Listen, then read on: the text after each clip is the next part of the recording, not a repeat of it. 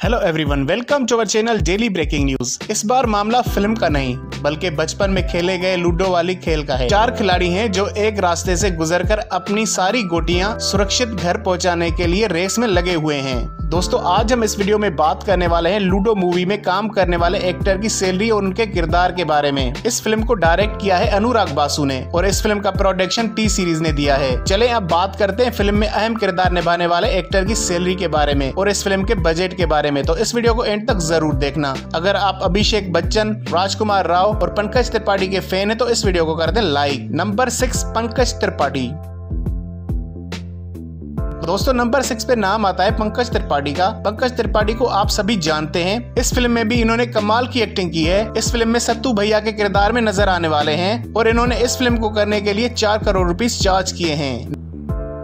Number five, Rajkumar Rao. Number five पे नाम आता है राजकुमार राव का। इस फ़िल्म में इनके किरदार का नाम अलोक कुमार गुप्ता है। और इन्होंने इस फ़िल्म में काम करने के लिए पाँच करोड़ रुपीस चार्ज किए हैं। Number four Aditya Roy. दोस्तों, नंबर फोर पे नाम आता है बॉलीवुड के हैंडसम एक्टर आदित्य रॉय का। इस फ़िल्म में ये आकाश चौहान के किरदार में नज़र आने वाले हैं। और इन्होंने इस फ़िल्म में काम करने के लिए छह करोड़ रुपीस चार्ज किए हैं। Number three Fatima Sana Shaikh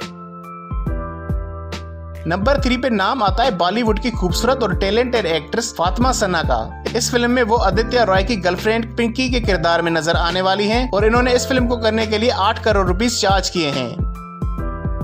Number two Rohit Suresh Saraf number दो पे नाम आता है बॉलीवुड के यंग और हैंडसम एक्टर रोहित सुरेश का। इस फ़िल्म में इनके किरदार का नाम राहुल अवस्थी है और इन्होंने इस फ़िल्म में काम करने के लिए दो करोड़ रुपीज़ चार्ज किए हैं। Number one Abhishek Bachchan. दोस्तों, नंबर वन पे नाम आता है अभिषेक बच्चन का। दोस्तों, जैसे कि आप जानते हैं, इन्होंने बॉलीवुड में कई सुपरहिट फ़िल्में दी हैं। दोस्तों, अब ये लूडो फ़िल्म में बिट्टू के किरदार में नज़र आने वाले हैं और इन्होंने इस फ़िल्म में काम करने के लिए 20 करोड़ रुपीज़ चार्ज किए हैं।